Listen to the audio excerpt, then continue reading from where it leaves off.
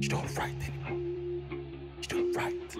You don't write about me anymore. After all these years, I can't seem to get your voice out of my head. My girl, you will love me by fire and force because you are special and I have to make you feel different. Your love is mine, your body, your temple. I'll tell the best love story with the most beautiful words in the glossary. So when you're reading, I can have your love immediately. Yours desiriously.